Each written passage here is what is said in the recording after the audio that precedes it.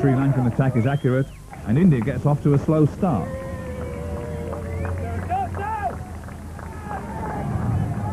Patil injects some urgency into the proceedings with a lofted on drive for four which gets the Indian fans cheering.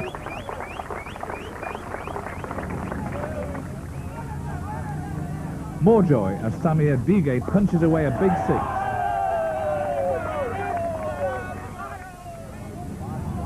Then Jayasuriya to Patil. The top edge skied high. The bowler is underneath it. And makes no mistake with the catch. A big blow for India. Worse is to follow. Iqbal Khan is bowled by Dulip Liyanage for three. India in trouble. Ranatunga to Dighe. And De Silva takes an easy catch at deep mid-wicket. Ranatunga to Paras Mhambrey. Another top edge and a simple catch for the bowler. Who better to see striding to the crease when your side is in trouble than record run scorer Sunil Gavaskar. For the first time ever, he is batting with his young son Rohan. Ranatunga to Gavaskar Jr. and his leg stump is uprooted first ball.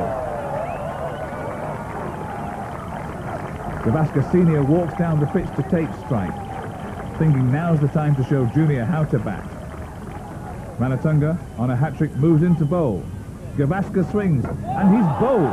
Both Gavaskar's out for golden ducks, and Ranatunga has his hat-trick. What a wonderful game, played in the very best spirit. Chasing only 45 to win, Sri Lanka should make it easily. A beautiful shot for six from Jayasuriya. He's certainly in the running for the man of the tournament.